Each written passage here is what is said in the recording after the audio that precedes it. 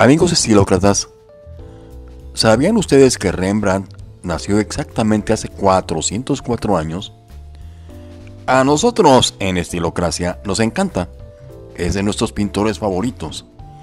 Y de hecho nos encanta la pintura barroca y de verdad vale la pena que lo conozcan. Les dejamos este vídeo que hicimos el año pasado conmemorando su natalicio, explicando su vida en muy pocos minutos.